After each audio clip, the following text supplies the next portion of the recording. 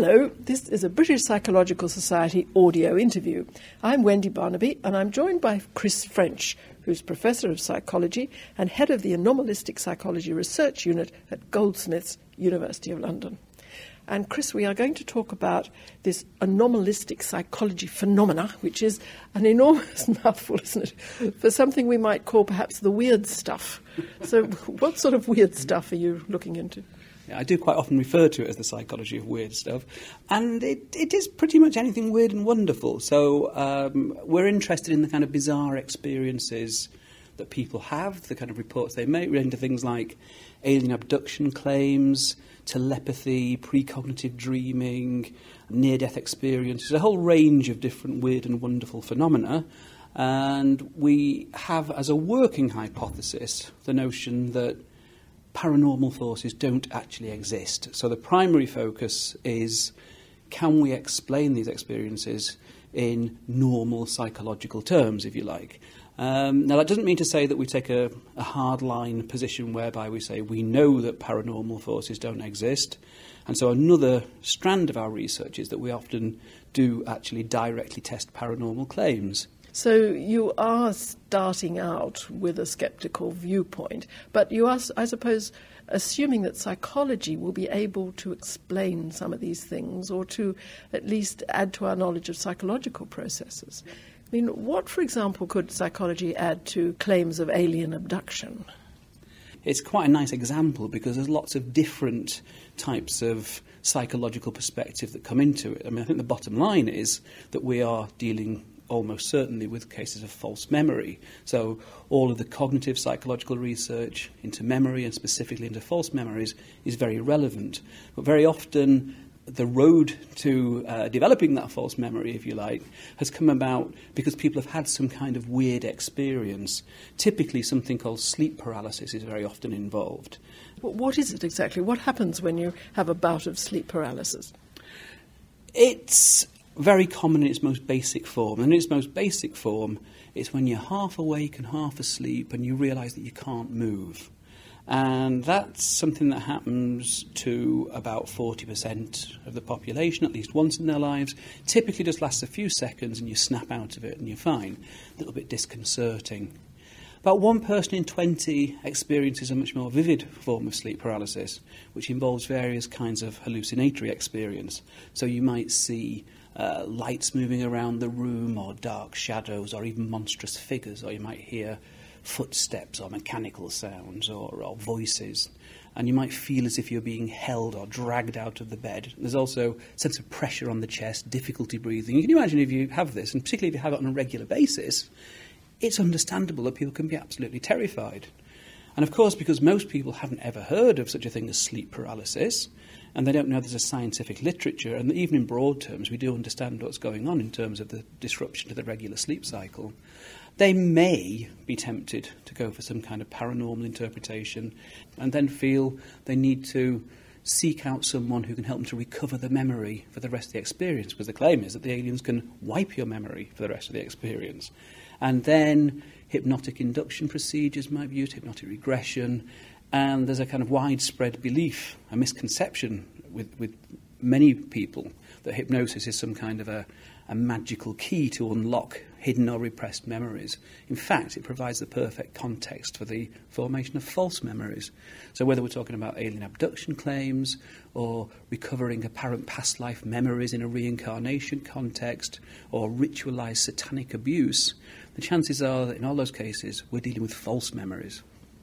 Do you think that many of the practitioners of these arts, in, in quotes, are dishonest, or do they really believe what they're doing, do you think? My own personal opinion is that the vast majority really do believe what they're doing. It's a small minority who are deliberate frauds, deliberate con artists. But um, in, in, the vast majority of cases, whether we're talking about people who claim they have healing powers, people who claim that they can do psychic readings, or even astrologers, tarot card readers, etc., they genuinely believe that what they're doing really does work. We do spend some of our time putting their claims to the test under properly controlled conditions, and invariably they will fail those tests. But I believe that they wouldn't actually submit themselves to the tests if they knew they were deliberate con artists because clearly they are not going to pass them. Uh, they usually come into the test very, very confident that they're going to pass it. Uh, we get them to sign a statement in advance saying that it's a fair test, that they, they should be able to pass it. And it's only afterwards, when they fail, that they decide it wasn't a fair test after all. Double blind controlled trials. Has there been anything that has survived, or nearly survived, or survived enough that you've thought, well, perhaps there might be something in that? I think there is a mistake that some skeptics make to believe that there just isn't any evidence in support of paranormal claims, and that's just not true. And I think the one that probably most parapsychologists would put forward as being the, the, strongest would be something called the Ganzfeld technique, telepathy. The debate is around the quality of the evidence, the replicability of the studies, etc., etc. But all of those things like post hoc analysis, like uh, the file drawer problem, not publishing studies that don't produce any significant results, occasional fraud, people giving themselves the benefit of the doubt in terms of the way they analyse the data, and often not with any deliberate intent to, uh, to, to behave in a fraudulent manner. I think all of those factors cumulatively could explain why we, we've got the picture that we have in parapsychology. And people in different countries have the same sorts of parapsychological beliefs? It's very interesting to look at the difference between different cultures in terms of both geography and, and, and, and, historically. Because what you'll very often find is that there will be a situation where you get very similar core experiences, but the details might differ, and certainly the interpretation will differ. And again, sleep paralysis is a really good example of that. So in Newfoundland, they talk about the old hag who comes and sits on the sleeper's chest and suffocates them. In Japan, it's kanashibari, which again is a nocturnal spirit attack.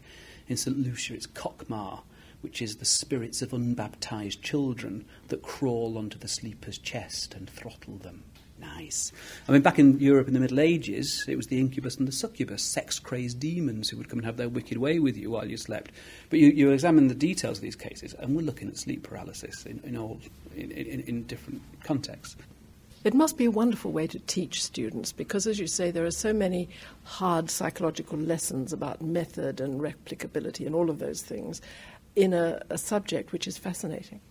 Well, that's what I, I really do. I love teaching as a topic. Um, on the one hand, it's a fantastic way of teaching critical thinking skills, of trying to get across lessons about why some forms of evidence should be given much more weight than other forms of evidence. And on top of that, it covers the wide range from topics which are perhaps in some sense a little bit trivial but highly entertaining, the kind of techniques that con artists use to convince other people that they have psychic powers, right the way through kind of things like um, you know, some real challenges to our conventional scientific view. Because, as I said before, some of the evidence from parapsychology is much more challenging than a lot of people, a lot of skeptics actually recognise.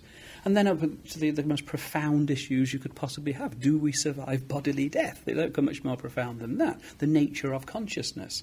And so you can kind of cover all of these topics in a way that the students will naturally enjoy. I mean, it's the kind of thing that people talk about down at the pub or over uh, dinner parties and so on anyway. But actually, dig a bit deeper and trying to come up with the answers, the explanations, can often be much more satisfying than just thinking that it's a mystery, it's the unexplained. Very often it's not, very often we can explain it.